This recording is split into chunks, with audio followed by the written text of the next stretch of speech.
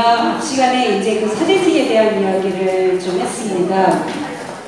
그 이제 잠깐 쉬는 시간에 나왔던 질문 중에 하나가 사제직을 어떻게 정의할 것인가 라는 말씀을 그, 그 질문이 좀 있었어요. 물론 사제직을 정의하는 건뭐 여러 가지 복잡한 과정을 거치긴 하겠지만 사실 그이 그 사제직을 어떻게 정의할 것인가 이미 저희가 읽었던 그 교육장 10항에 나와 있죠. 그걸 다시 한번 제가 같이 보겠습니다.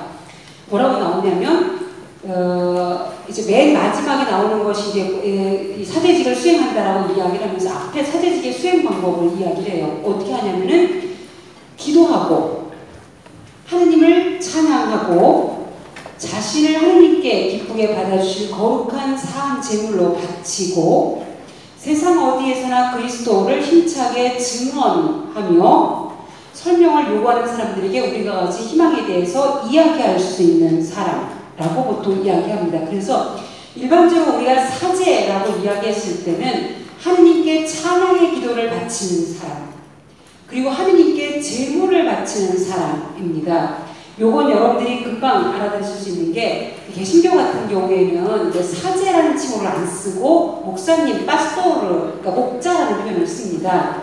그 이유 중에 하나가 뭐냐면 이런 성찬례에 대해서 카톨릭 교회와 개신교가 이해가 달라요. 그러니까 카톨릭 교회는 성찬례, 미사 때 하는 그 성찬례가 희생 제사라고 믿습니다.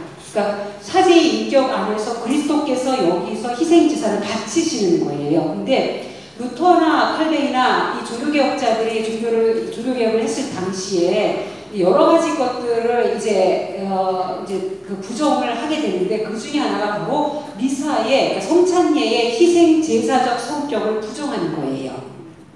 그래서 개신교에서는 사제라는 말을 쓰지 않습니다.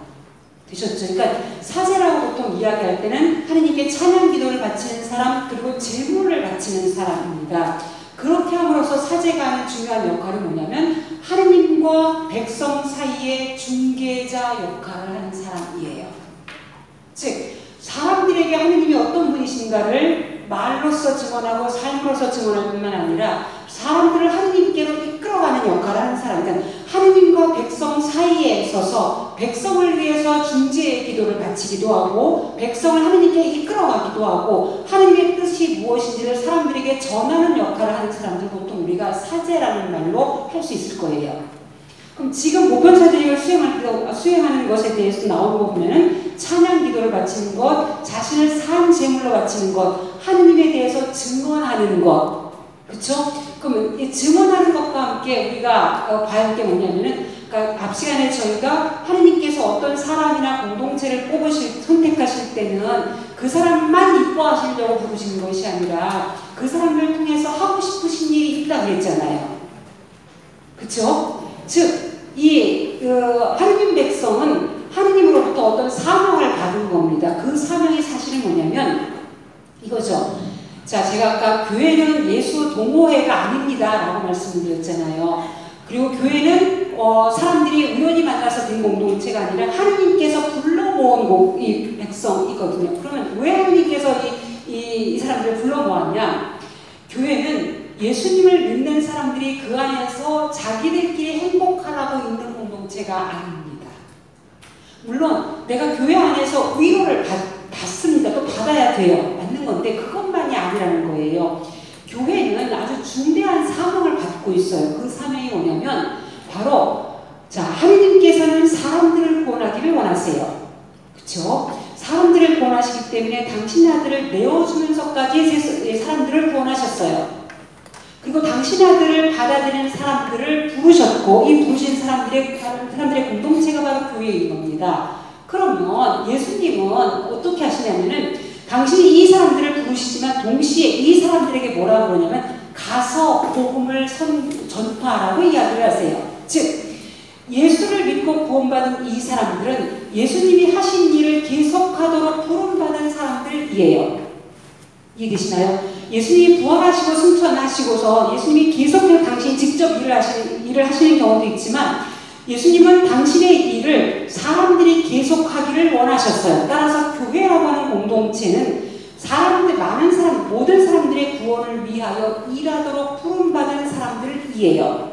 따라서 그리스도교 신자들이 여기서 이 국경사제직을 수행한다고 이야기했을 때는 하느님께 찬양을 드리고 내가 희생 제물을 바치는 이것에 그치는 것이 아니라 다른 사람들도 나처럼 하느님을 믿고 사랑할 수 있도록 그 사람들에게 내가 믿는 신앙에 대해서 설명하고 복음을 전하는 일을 또 내 삶으로서 증거하는 일을 해야 한다는 것을 의미하는 거예요.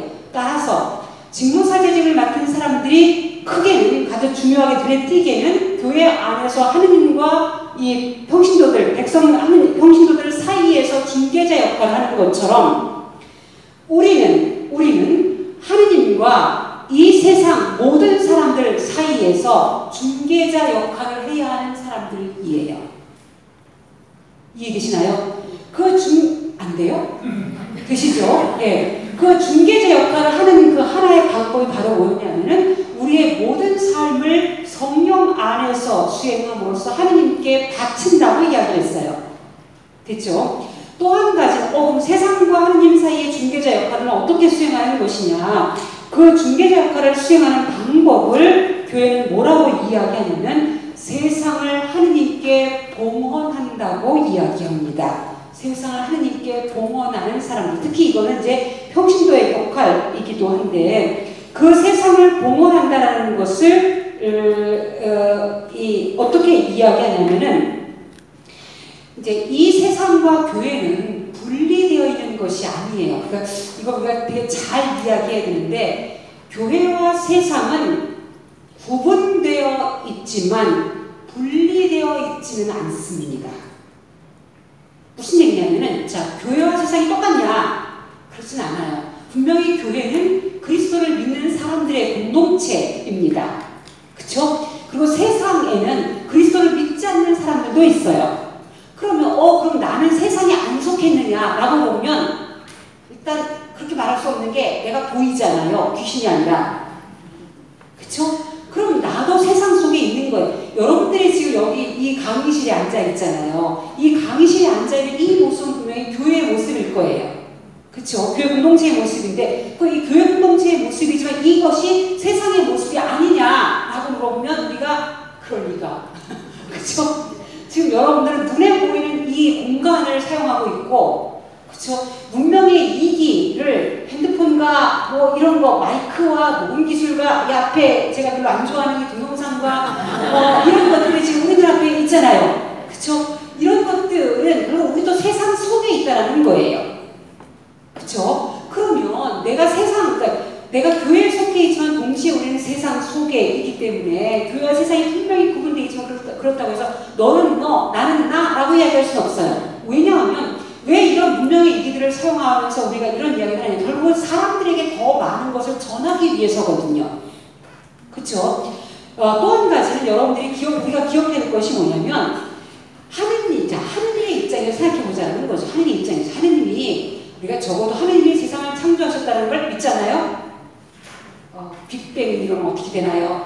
어, 과학적인 이런 것들이 있을 수도 있겠지만 일단 근본적으로 우리는 빅뱅이 됐든 뭐가 됐든 근본적으로 이 모든 것의 출발의 근, 그러니까 이 모든 것의 출발점 원인은 하느님이시라는 걸 우리는 믿어요. 그렇지 않나요? 이 모든 것을 있게 하신 하느님을 믿거든요. 그러면 여러분들이 하느님이라면 하느님이 세상을 봤는데 아 내가 보냈던 우리 아들을 믿는 그이 있는 사람들은 정말 좋은 사람들이니까 내가 아주 사랑을 많이 해줘야 되고 이 교회 공동체 밖에 밖에 있는 이 세상은 쟤네들은 예수를 아직 몰라. 이러면 하느님이 얘네들 얘네들 이 세상은 그럼 하느님은 하느님이 주는 관심을 안 가지시고 당신 안 돌보시겠느냐? 그럴까요? 그럴 리가 그렇죠. 그러니까 이 교회 교회 이 교회원장이 교회원장도 이스바티칸 공의가 뭐라고 이야기하냐면 세상을 구원하신 그 하느님과 세상을 창조하신 하느님은 같은 하느님이에요. 또 한 가지 우리가 꼭 기억해야 될 것은 가톨릭 교회는 아니 그리스도 교회는 섭리의 하느님을 믿습니다. 즉 하느님은 세상을 창조해 놓고서 그냥 떠나시는 것이 잘 내가 없는 그러니까 무로부터 내가 세상을 했는데 내가 큰 일은 내가 다 했으니까 나머지 들이 알아서 이렇게 하시는 하느님이 아니라는 거예요. 하느님이 끊임없이 역사 안에 들어오셔서 사람들을 돌보시고 사람들을 살게 하세요. 여러분들 믿으시지 않아요. 어떤, 물론 어떤 때는 우리 인생의 암흑기에는 하느님이 안 보이기도 하지만 그래도 암흑기가 지나고 나서 보면은 그래도 그 안에 하느님의 손길이 보이잖아요? 그렇죠? 볼 수 있도록 우리가 기도하기도 하고 그러니까 하느님이 세상을 창조하셔놓고 하느님은 끊임없이 세상을 돌보시거든요. 즉 교회만 돌보시는 것이 아니라 세상도 돌보세요.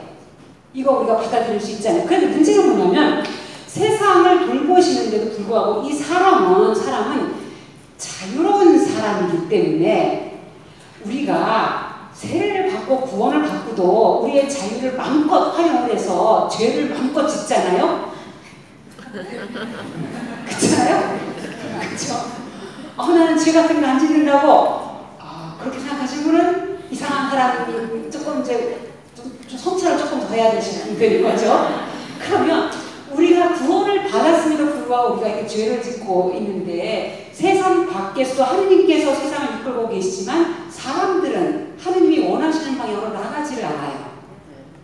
그렇죠?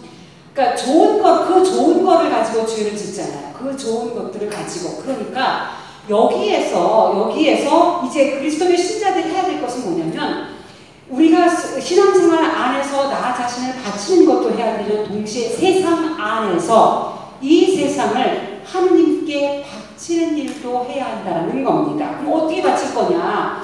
내가 여러분들이 하시는 뭐 직장 생활을 하시는 그러니까 직접적으로 그 종교적 활동이 아닌 그런 일들을 하시는 거 그것이 학문적인 연구일 수도 있고 그렇죠? 어떤 기업 활동일 수도 있고 상업 활동일 수도 있어요. 근데 우리가 할 일은 뭐냐면 그러한 활동들이 참으로 하느님께서 원하시는 방향으로 나아갈 수 있도록 이해되시나요? 사람을 상하게 하고 죽이는 방향이 아니라 사람을 성장시 키고 사람을 더 인간답게 살 수 있게 하는 그런 방향으로 나아갈 수 있도록 그렇죠?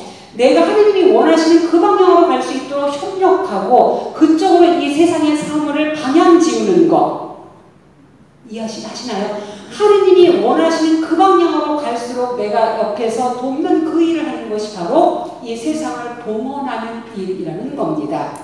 하나 예를 들면 지금 예를 들어서 그 이 어, 과학이 굉장히 많이 발전했잖아요. 그렇죠? 근데 그 발전된 과학이 예를 들어서 핵폭탄을 만들어서 사람 일, 사람만이 아니라 이 지구 자체의 그 이 존속을 위협하는 그런 식으로 움직여진다면 당연히 우리 반대할 수밖에 없는 것이고 의술이 굉장히 많이 발전하지만 과연 그 의술이 하느님께서 원하시는 그 방향으로 사용되는가 이거를 봐야 되는 것도 우리가 될 일인 거예요. 이해되시나요? 내가 상업활동, 상업활동 굉장히 정당한 일입니다. 근데 상업활동에서 이익을 취, 내 노동의 대가를 받는 거기 때문에 상업활동에서 이익을 받는, 이익을 취하는 건 당연해요. 근데 과도하게 누가 봐도, 누가 봐도 노동의 대가 이상을 받는 그런 일이 발생을 안 하게 하는 것이 우리가 할 일이라는 거예요. 그것도 세상을 공헌하는 일이에요. 이해되시나요? 우리가 그렇게 할 때 사람들은 아, 저 사람들은 카톨릭교의 신자들이기 때문에 저렇게 하는 거구나 라는 걸 보게 될 거고 그걸 보고 하나님을 찬양하게 될 거라는 겁니다. 이해되시나요? 이런 면에서 그리스도교 신자들은 교회 안에서 보편 차지직을 수행하는 것만이 아니라 이런 중개자의 역할을 한다는 측면에서 세상 안에서도 보편 차지직을 수행하는 것이고 그 보편 차지직의 수행이라고 하는 것은 바로 이 세상을 봉헌하는 겁니다. 이거를 이 교회원장에서 뭐라고 이야기하냐면은 이 세상을 안에서부터 비추는 사람들 그리고 이 세상에 누룩의 역할을 하는 사람들이라고 이야기를 합니다. 이 부분은 제가 조금 더 시간 어, 조금 더 자세히 나중에 설명을 하겠습니다. 자 이제 우리가 봐야 될 것 중에 하나가 보편사대직과 직무사대직의 관계를 올바르게 이해하는 것이 필요합니다. 저희가 제2차 바티칸 공의회 때이 관계가 잘못 이해될까봐 몇몇 주교님들이 좀 우려를 표했다고 이야기했잖아요. 그리고 그러니까 저도 봤을 때 이제 그 신자들이 이제, 이제 책을 많이 읽으시기 때문에 보편사대에 되게 많이 알고 계시는데 자칫 이게 조금 그 주교 처음 공의회 때 주교님들이 우려했던 방향으로 가는 게 좀 보일 때가 있어요. 뭐냐면은 이걸 잘못 알아들으면 어 너도 사제 나도 사제 이제 무슨 이게 맞짝뜨는 것도 아니고 이러면서 이제 어 경쟁 관계로 또는 싸우자 이기자 이러면서 누가 위냐 이러면서 이런 관계로 어 잘못 극단적으로 이해하는 경우를 이제 간간히 보게 됩니다. 그래서 이 공의회가 이 보편사대직을 이해하면서 어떤 것을 원했는지를 좀 보겠습니다. 그 이 보편사대직과 직무사대직의 관계에 대해서 교회원장 그 10항에서는 보편사대직을 이야기한 다음에 다음과 같이 이야기합니다. 신자들의 보편사대직과 직무 또는 교계 사대직은 정도만이 아니라 본질에서 다르기는 하지만 서로 밀접히 관련되어 있으며 그 하나하나가 각기 특수한 방법으로 그리스도의 유일한 사대직에 참여하고 있다. 여기 몇 가지 바로잡을 것이 있습니다. 보면 뭐냐면은 보편 사대직과 직무 사대직은 정도와 본질에서 다르다는 이야기를 해요. 요건 제가 좀더 설명을 할 거예요. 이게 요 말을 잘못 알아들으면 아 우리 보통 너하고 나는 본질적으로 달라. 뭐 이러면 이제 우리가 우열을 이야기하잖아요. 여기 우열이 아니에요. 그거를 제가 좀, 좀 설명을 드릴 거고 또 한 가지 바로잡을 것은 서로 밀접히 관련되어 있다고 이야기하는데 관련되어 있다는 말보다 원래 공의에서 사용하는 단어는 서로가 서로를 향해 있습니다. 자, 그거 볼 거예요. 서로가 서로를 향해 있습니다. 그리고 각기 특수한 방법이 아니라 고유한 방법으로. 그러니까 평신, 그러니까 보편사제직을 수행하는 방법과 그다음 직무사제직을 수행하는 방법은 각각 각각 고유한 방법이에요. 제가 왜 이렇게 강조하냐면 공의회가 이야 공의회가 아주 강조했던 것 중에 하나가 우열관계의 뉘앙스를 풍기는 단어를 최대한 배제해요. 이거는 평신도에 대해서도 마찬가지입니다. 평신도에 대해서 이야기할 때 극도로 예민하게 마치 평신도가 교계 제도보다 아래에 있는 아래 계급에 속해 있는 사람들인 것 같은 그런 인상을 풍기는 모든 단어는 다 뺍니다. 무슨 말인지 이해되세요? 피라미드 구조의 교회 이해를 더 이상 하지 않기 때문에 어떠한 식으로든지 간에 그런 뉘앙스를 줄 수 있는 그런 단어들을 최대한 빼내는 작업을 굉장히 예민하게 합니다. 그렇기 때문에 특수한 이런 표현 안 써요. 대신 각기 고유한 방법으로 이 직무를 수행한다고 이야기를 합니다. 그럼 어떻게 수행하느냐? 그리고 또 한 가지 뭐냐면 둘 다 그리스도의 유일한 사제직에 참여합니다. 보편 사제직도 그리스도의 사제직에 참여하는 것이고 직무 사제직도 그리스도의 사제직에 참여하는 거예요. 즉 본질적으로 두 사제직은 동일한 사제직에 참여하는 겁니다. 되시죠? 어, 너무 겁내지 마시고 어, 이게 그 우리가 이 신부님들 어떻게 걱정하지 지금 할 거예요. 걱정하지만 일단 이걸 받아들이셔야 돼요. 우리가 동일한 사제직에 참여한다는 걸 이야기를 해주시는데 그럼 이제 어떻게 각기 고유한 방법을 하느냐 직무사제는 참으로 그가지 거룩한 힘으로 사제다운 백성을 모으고 모으고 다스리며 성찬의 희생 제사를 그리스도로서 거행하고 이게 이제 직무사제직의 경우에는 그리스도의 사제의 인격 안에서 그리스도께서 직접 이 직무를 수행을 하십니다. 그래서 그이 성찬의 희생 제사를 그리스도로서 거행하고 온 백성의 이름으로 하느님께 봉헌한다. 이게 사제가 하는 일이에요. 그러니까 백성을 모으고 다스리고 성찬예를 거행을 하는 겁니다. 신자들은 자신의 왕다운 사제직의 힘으로 성찬의 봉헌에 참여하며 여러 가지 성사를 받아 받고 기도하고 감사드리며 거룩한 삶을 증언하고 극기와 사랑을 실천함으로써 사제직을 수행한다. 여기 한 가지 제가 더 추가할 부분이 있습니다. 아까 제가 그 보편사제직의 공동체성을 이야기하면서 보편사제직의 수행이 직무사제직과 불가분의 관계에 있다는 이야기를 잠깐 드렸을 거예요. 근데 여기 지금 이건 지금 제가 아주 어, 저희가 어, 되게 주의 깊게 보는 단어 중에 하나인데 여기 지금 성찬예에 성찬예를 사제가 거행을 하잖아요. 봉헌하잖아요. 근데 여기에 이제 보편사제직을 수행하는 사람들이 거기에 참여한다고 돼 있어요. 근데 참여한다는 말도 있죠. 특히 보편사제직을 할 때는 뭐 어떤 단어를 쓰냐면 그냥 참여한다는 말을 쓰는 게 아니라 함께 달려간다라는 표현을 씁니다.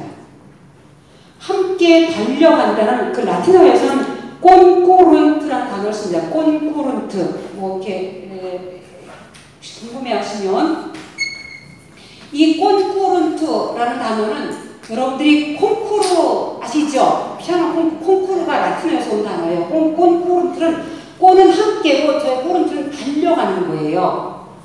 자, 그러면 사제가 제단 위에서 성찬예를 봉헌할 때 신자들은 이렇게 앉아서 구경하는 게 아니라 사제와 함께 달려가는 거예요.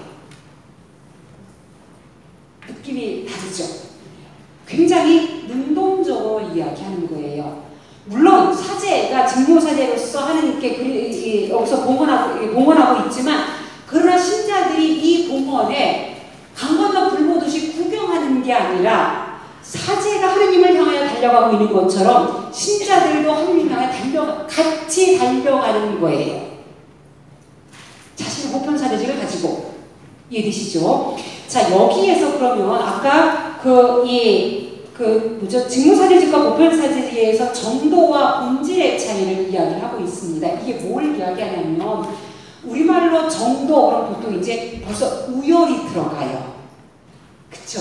사실은 이 단어는 우리말로만이 아니라 서양 현대 언어로 번역할 때도 항상 애로를 겪습니다. 왜냐하면 원래 라틴어에서 사용하는 단어는 gradus라고 하는 단어를 쓰는데 물론 gradus라는 말이 그레 영어의 grade인데 grade 이제 grade도 벌써 이제 우열 관계가 들어가 있거든요. 근데 원래 라틴어에서 gradus라는 말은 그레이드라는 정도라는 말은 파생된 단어이고 원래 그라두스는 어떤 것이 속해 있는 장, 어떤 것이 속해 있는 질서 이런 것을 의미하는 거예요. 그러면 아까 우리가 직무사제직이든 보면사제직이든 둘 다 그리스도의 사제직에 참여하는 거라고 이야기를 했는데 두, 그, 어, 두 개가 속해 있는 질서가 다르다는 이야기입니다. 어떻게 다른 거냐? 일단 지금 보편사제직의 경우에는 이제 어떤 거냐면은 아까 보편사제직이라고 하는 것은 그 이 세상이 세상이 세상에 거, 세상이 거룩해지는 것과 세상의 변화를 위해서 하느님께 바치는 거라고 말씀을 드렸잖아요. 그러니까 이 보편사제직은 예수 그리스도가 수행하셨던 그, 수, 그 사제직을 수행하는 거예요. 자, 이분과 관련돼서 이 책에 나와 있는 게 뭐가 나오냐면 그 얘기를 합니다.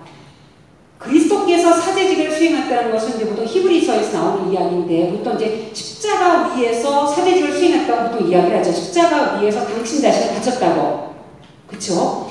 여러분 우리가 그렇게 보통 알고 있어요. 그리고 미사 성찬예도 십자가의 희생들을 다시 여기서 바치는 거예요. 근데 이 만화 추경에 정확하게 짚고 있는 것이 뭐냐면 예수 그리스도의 사제직 수행은 예수님의 그러니까 그 사제직 수행은 십자가에서만 별도로 또 떨어져서 고립되어서 있다는 게 아니에요. 그쵸? 예수님의 사제직 수행은 이미 지상 생애 때부터 있었어요. 사제직 수행이라고 하는 것이 당신 자신을 사람들의 구원을 위하여 아버지께 바쳐 드린다고 한다면 물론 이 사제직 수행의 정점은 십자가 위에서 이루어지겠지만 십자가 이전의 삶은 그럼 예수님은 아버지랑 상관없이 살았느냐? 천만에요. 예수님 그러잖아요. 내 양식은 곧 아버지의 뜻을 수행하는 것이라고. 기억하시나요? 예수님의 전 일생에서 단 한 번도 아버지의 뜻, 뜻, 뜻을 실행하는 것이 아닌 것은 아무것도 없었어요. 그거 동의하실 수 있으세요? 예수님이 사람들을, 그러니까 죄인들을 만났던 거, 사람과 식사하셨던 거, 기적을 행하셨던 거, 말씀을 전하셨던 거 보시면 예수님은 이 자체 이미 사제직을 수행하고 계셨다는 겁니다.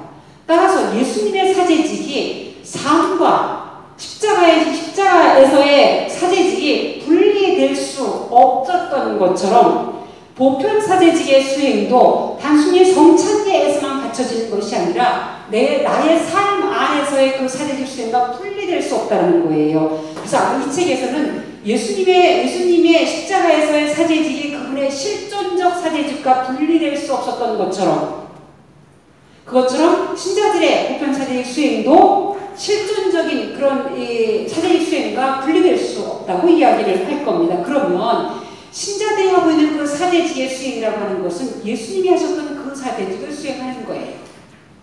맞나요?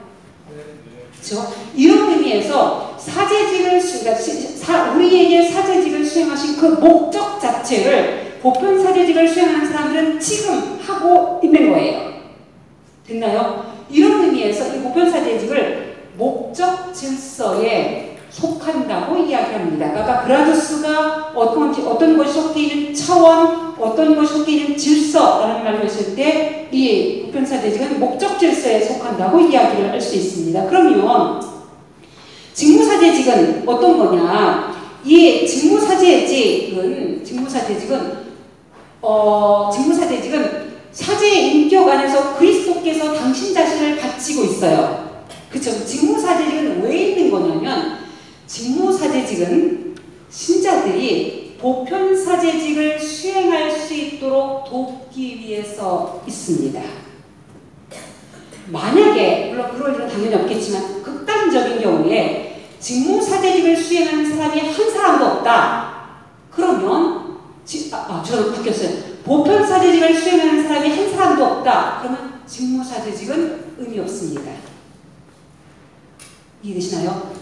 직무사제직은 보편사제직을 위해서 존재합니다. 신자들이 보편사제직을 잘 수행할 수 있도록 있는 것, 하기 위해서 세워지는 것이 직무사제직이에요. 이해되시나요? 그런 의미에서 직무사제직은 수단 질서에 속한다고 이야기를 합니다. 그러니까 목적에 도달하기 위한 수단으로서 있는 겁니다.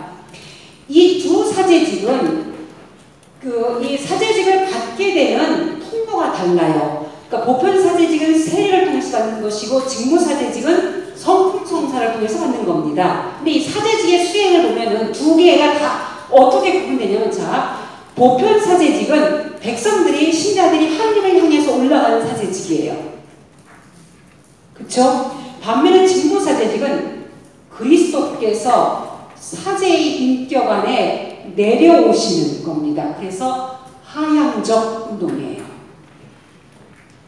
왜 내려오셨냐면 신자들이 하느님께 올라가도록 하기 위해서 이해되시는 거죠? 어, 그러니까 기본적으로 사제직이라고 하는 것이 하느님과 백성들이 사람들이 이렇게 있을 때 근본적으로 사제직에 참여하신 이유는 신자들이 올라가게 하기 위해서예요. 그렇죠? 이 올라가는 이 움직임, 이 움직임이 보편사제지의 수행이라고 이야기한다면 이 바르민 백성이 신자들이 이 사직을 잘 수행할 수 있도록 있는 것이 바로 직무사제직이에요. 그러니까 사제, 우리가 알고 있는 성직자들. 이 직무사제직이 하는 일은 뭐냐면 직무사제직은 그리스도를 대신해서 그리스도를 대신해서 이 백성이 백성이 이거를 잘할 수 있도록 도와주기 위해서 있다는 거예요. 이해되시나요? 그렇기 때문에 직무사제, 그러니까 보편사제직을 수행하는 사람이 단 한 사람도 없다면 직무사제직은 그, 그 존재의 이유가 없어요. 이해되시나요?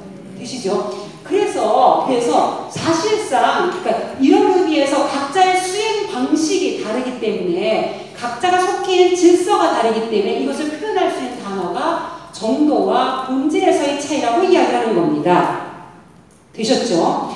이제 그러면, 아, 그래도 누가 더 위에요? 자꾸 사람들이 물어볼 수 있잖아요. 그래서 이제 발토카스코 추기형님은 이제 당신 책에서 뭐라고 자꾸 물어보니까 그러면 자꾸 누가 더 위인지 궁금하시다면 질, 그러니까 그, 목적의 관점에서는 보편 사대직이 더 위고 수단의 관점에서는 직무사대직이 더 위다라고 이야기해요. 즉 우열을 따지는 것은 의미가 없다는 겁니다. 둘은 마주보고 있어요. 그러면 자 어, 그러면은 직무사제직은 우리를 위해서 있는 거네. 그럼 우리가 위, 아, 위가 아닌가요? 자, 그 아닌 거를 제가 보겠습니다. 자, 이 직무사제직이 보편사제직을 위해서 있다는 이야기를 했어요. 그렇죠? 그러면 그럼 보편 직무사제직은 보편사제직으로부터 아무것도 받지 않느냐? 그러니까 직무 보편사제직을 수행하는 사람들은 직무사제직의 수행으로부터 도움을 받잖아요. 그렇죠? 그럼 직무사제직은 보편사제직을 수행하는 사람들로부터 아무것도 받지 않느냐? 자, 보십시오. 자, 이 남미 아르헨티나의 남자아이가 태어났는데 엄마가 걔 이름을 호르에 베르골리오라고 이름을 지었습니다. 자, 누구겠어요? 자, 근데 얘가 꼬맹이가 태어나자마자 눈을 똑바르게 뜨고 엄마 나는 앞으로 교황이 될 사람이니까 나한테 아무것도 안 가르쳐도 돼요. 이렇게 얘기를 하는 거예요. 그쵸?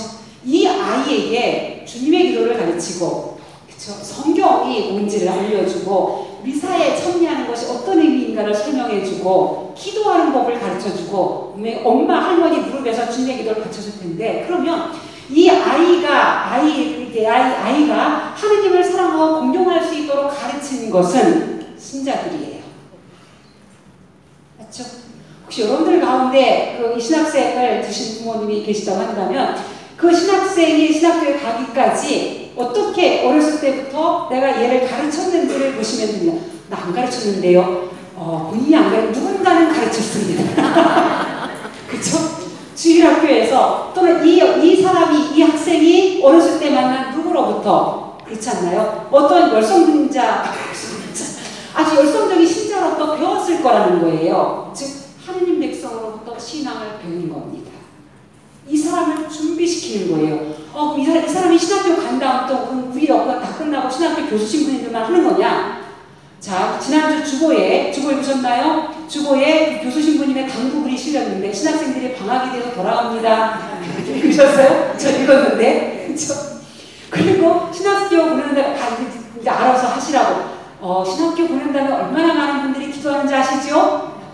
훌륭한 사제 되도록. 자, 훌륭한 사제가 된다면, 이제부터 뭐 알아서 하시라고. 아, 보십시오.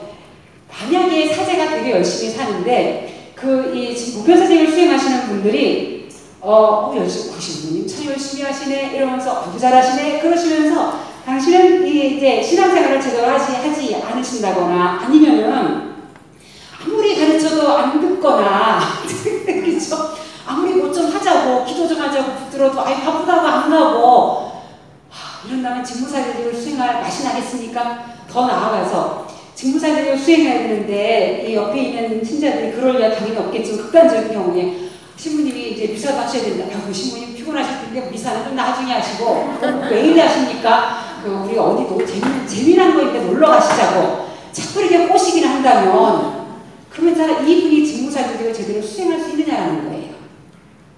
근데 어, 그러니까 그럴 리 당연히 없겠지만 어떤 신부님이 맹맹하게 살고 계시는데 어떤 어떤 본당한테 그, 그 본당에 신자들 열성이 못 받쳐 있어요. 뭘 자꾸 뭘 자꾸 물어보고 자꾸 뭘 달라고 자꾸 그러는 거 물론 그 달라는 게 영적인 양식이죠. 근데 귀찮은데 뭐, 뭘 알아야 되니까 할 수 없이 공부를 해야 될 거 아니에요. 그러면 이게 뭐냐면 제가 약간 희화적으로 얘기했지만 직무사제직을 수행 열심히 수행하는 수행할 때 훌륭한 그러니까 보편 사제직을 열심히 수행하는 사람들 중에서 훌륭한 사제가 나오는 거고 그렇죠? 직무, 그러니까 보편사제직을 열심히 수행할 때 직무사제직도 열심히 수행할 수 있게 되는 거예요. 이해되시나요? 이런 의미에서 직무사제직과 보편사제직은 서로가 서로를 위해서 있습니다. 이게 서로가 서로를 향해 있다는 말이에요. 교회는 공동체입니다. 사제들만의 공동체도 아니고 평신도들만의 공동체도 아니에요. 교회가 가장 아름다울 때는 직무사제직을 맡은 직무사제직을 맡은 사람들과 보편사제직을 수행하는 사람들이 서로가 각자 고유의 방법으로 사제직을 충실히 이 교회는 그리스도로부터 받은 그 사명을 잘 수행할 수 있습니다. 이해되시나요? 네. 요게 직무사제직과 보편사제직의 관계에 대한 이야기입니다. 요 부분은 이 책에 잘 안 나와 있어요. 좀 약합니다. 다만 이제 성찬예, 성체성사를 이야기하는 부분에서만 잠깐 이야기를 했고 공리에서 카톨릭 교육에 현재 가르치는 이 부분에 대해서 약하기 때문에 제가 추가 설명을 좀 드렸습니다. 자, 시간이 왜 이럴까요? 어, 어, 양을 줄여야겠습니다. 그 저희가 제가 아까 이제 이한 그, 가지만 더 추가로 이 보편적인 수행과 관련돼서 제가 좀 말씀드리려고 했던 부분이 사실은 거룩함에 대한 부분을 말씀드리려고 했던 거였었는데 시간이 되는 대로 이 부분을 추가하겠습니다. 여기까지 해야지만 이 보편사제직의 중요성을 여러분들이 더 강하게 인식하실 수 있을 것 같아요.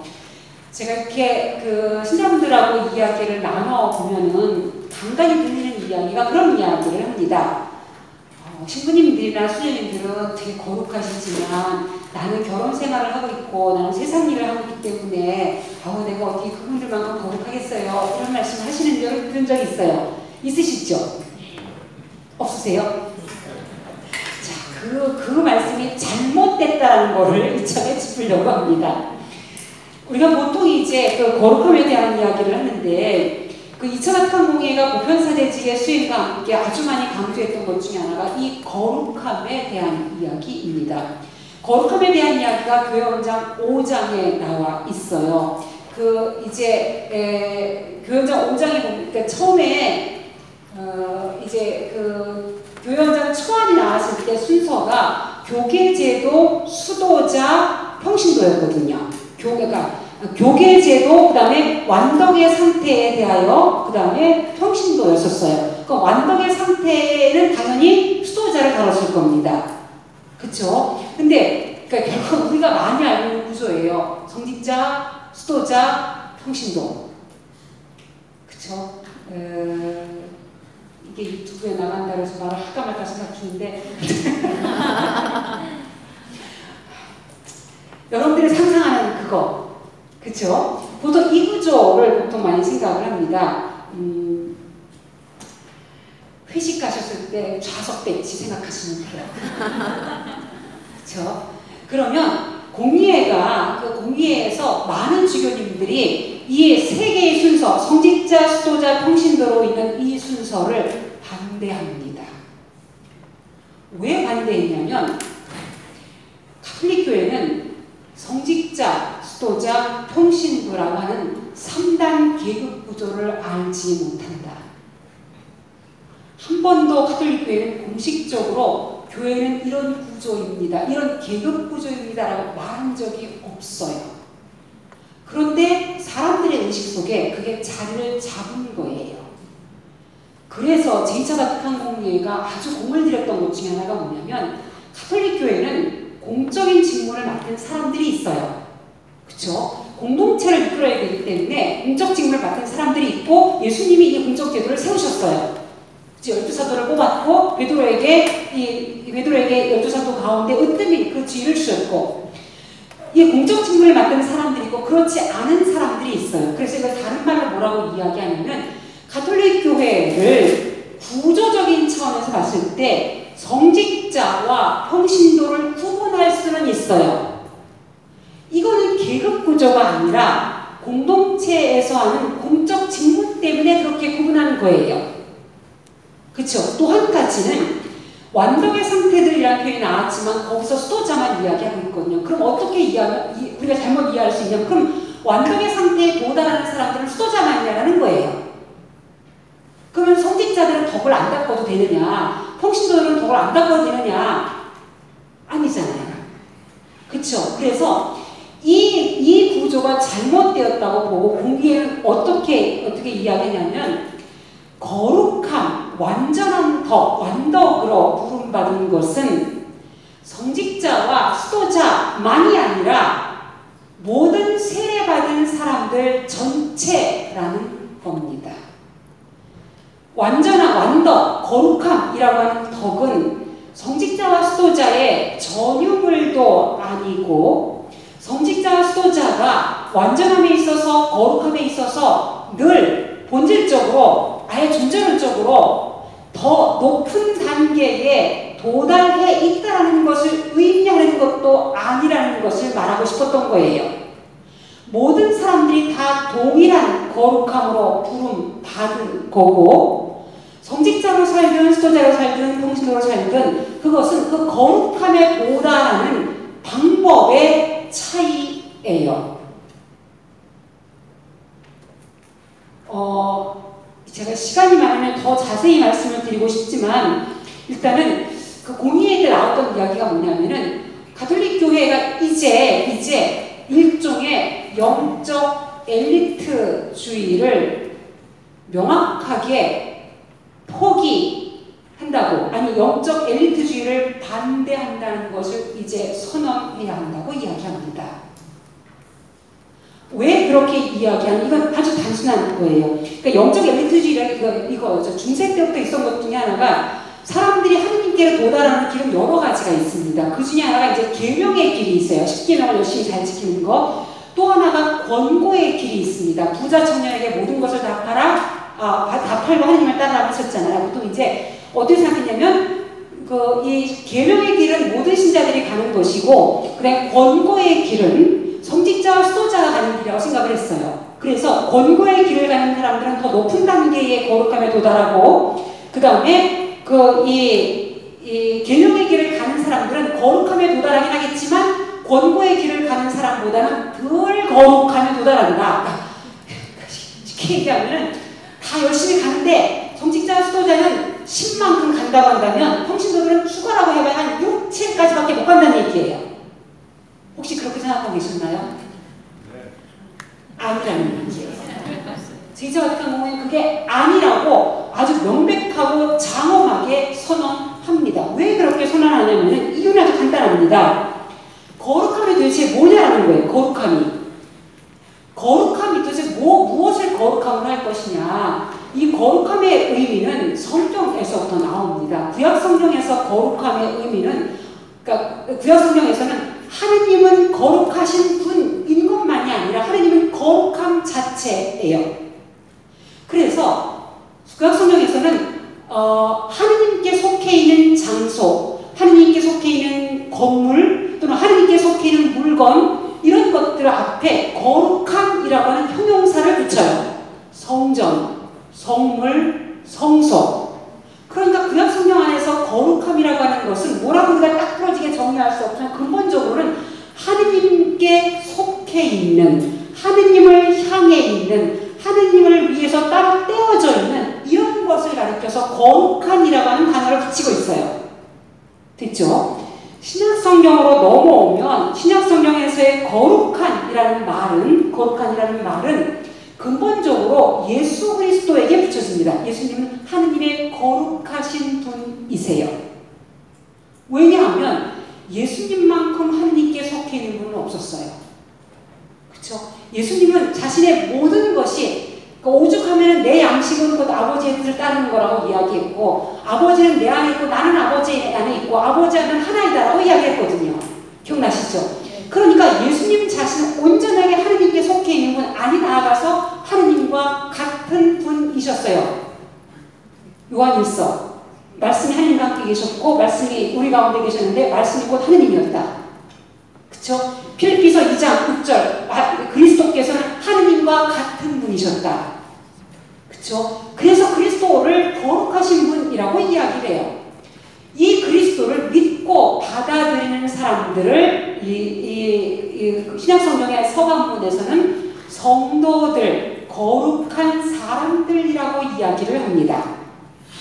그쵸? 그러면 어, 그럼 구체적으로 어, 그리스도께 속한 사람들이 거룩한 사람이구나. 그리스도께서 거룩하신 분인 거구나. 그럼 도대체 어, 어떤 어떤 구체적으로 어떤 것이 거룩한 거냐? 거룩함이 무엇인지를 알고자 한다면 우리는 예수님을 보면 돼요. 예수님이 거룩하신 분이라면 그러면 예수님의 특성을 한마디로 얘기해라. 자, 예수님은 한마디로 여러분들이 예수님의 묘비명을 세워준다 한다면 여러분들은 예수님 묘비명에 뭐라고 쓰고 싶습니까? 사랑. 하느님을 사랑하고 인간을 사랑했던 분이에요. 예수님의 예수님의 일생은 딱 두 마디. 인간에 대한 사랑, 하느님에 대한 사랑이에요. 그렇죠? 그리고 예수님이 우리에게 보여줬던 것은 결국 뭐냐면 하느님이 얼마나 우리를 사랑하시느냐예요. 성경은 하느님은 사랑이시다라고 고백을 합니다. 하느님의 본질은 곧 사랑이에요.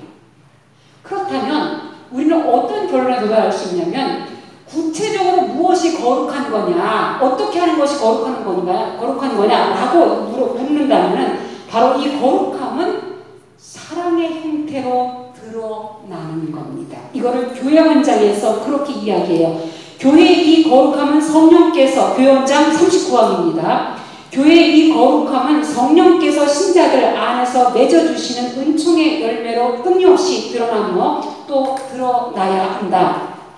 그 거룩함은 자기 삶에서 사랑의 완전함을 지향하며 남들을 감화시키려고 노력하는 개인들에게서 여러 가지 형태로 표출된다. 결국 거룩함은 사랑의 완전함 이외에 다른 것이 아닙니다. 받아들이실 수 있으세요? 그렇죠? 자, 또 한 가지 볼 게 있습니다. 우리가 거룩한, 우리가 하나 그리스도께 속해 있는 사람들이지만 속해 있기 때문에 내가, 내가 성도들, 거룩한 사람이라고 불림을 받아요. 그쵸? 그런데, 어, 우리가 완전히 거룩한가요? 자, 우리가 교회 안에서 여러 가지 부정적인 모습을 볼 때가 있잖아요. 그럼 이제 보통 우리가 스캔들이 되죠. 우리에게는. 그러면 이제 우리가 뭐죠? 저기 할 때, 그, 신경 고백할 때 거룩한 교회를 믿으면 사도식 그 니키아 콘산트 신경 하게 되면 그게 나오잖아요. 거룩한 교회를 믿으면 지금 아주 안 좋은 것들을 잔뜩 보고 나서 이 미사 때 거룩한 교회를 믿으며 할래니까 이 말이 입에서 나오던가요? 그렇죠. 물론 확인해야 되니까 이제 확인하겠죠. 제가 이 강의 때 학생들에게 질문을 굉장히 질문 되게 많이 합니다. 당신은 학생 여러분들은 교회가 거룩하다는 걸 믿습니까? 그러면 이제 몇몇 분들은 아 그래도 거룩하다고 믿는다고 이야기를 하시는 분도 있지만 어떤 분들은 이제 어, 거룩해지기를 바란다고 생각 바란다 바라면서 바쳐야 하는 분도 있고 어떤 분은 저는 그 소리 나면 입을 다물어요 하시는 분도 있어요.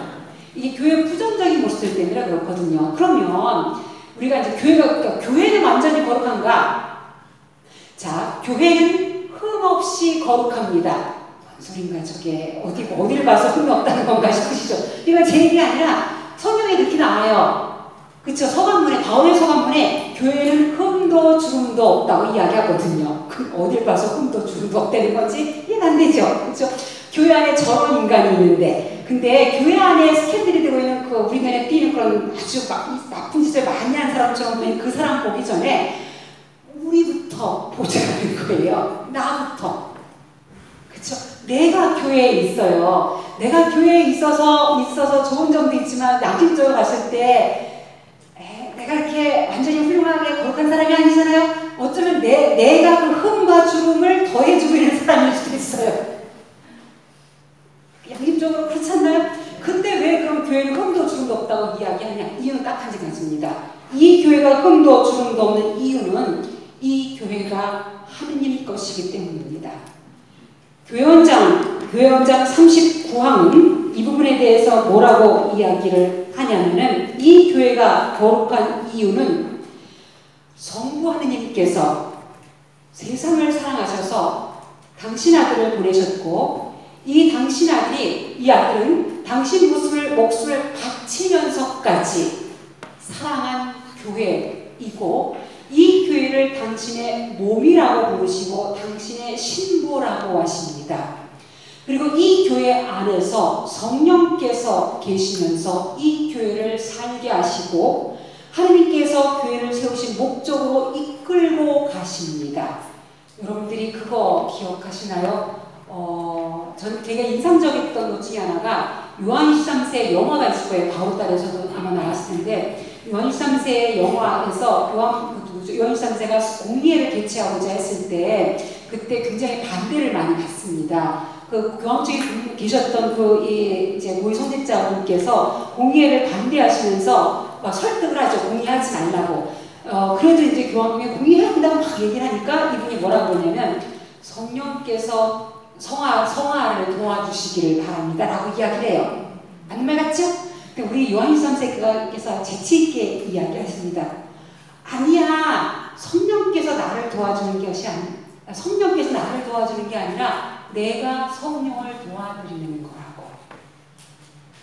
뭐 무슨 얘기냐면 교회는 사람들이 노력해서 이끄는 것처럼 보이지만 근본적으로 이 교회를 이끄시고 살게 하시는 분은 성령이십니다. 이걸 놓치면 안 돼요. 안 그러면 이 성, 이 교회를 인간적으로 생각을 해요. 내가 교회에 도움이 되고 내가 교회를 이끈다고 착각을 합니다. 그건 정말 착각이에요. 이 교회를 이끄는 분은 성령 자신입니다. 그 믿으시죠? 그럼 다시 정리하면 교회가 거룩한 이유는 이 지금 교회가 거룩한 이유는 딱 하나입니다. 성부 하느님 성부 하느님께서 당신 아들을 내어주면서까지 사랑하신 교회이고 이 성자께서 사랑하신 교회 성자가 당신의 몸이요 어, 신부라고 부르는 교회이고 그리고 이 성령께서 살리시는 교회입니다. 한마디로 이 교회가 거룩한 이유는 삼위일체 하느님의 것이기 때문입니다. 그래서 흠도 주름도 없는 교회라고 고백하는 거예요. 그러나 교회 안에 있는 구성원들이 나를 비롯해서 나를 비롯해서 완전히 거룩하진 않습니다. 완전하게 거룩하신 존재는 딱 한 분이겠죠. 하느님 당신 자신. 따라서 교회는 끊임없이 거룩함으로 나아가야 되고 교회 안에 있는 사람들도 거룩함으로 나아가야 되는 거예요. 이해되시죠? 그럼 어떻게 거룩함으로 나아갈 거냐? 단어는 하나입니다. 하는, 그러니까 이 까리타스, 즉 사랑입니다. 하느님이 사랑하신 그 사랑으로 사는 것, 이게 바로 거룩함으로 나아가는 것이고, 누가 더 거룩하냐는 지금 내가 하고 있는 일의 종류가 나를 어떤 사람을 거룩하다고 아예 선천적으로 결정하지 않는다는 거예요. 누가 더 거룩하냐는 누가 더 큰 사랑으로 이것을 행하느냐입니다.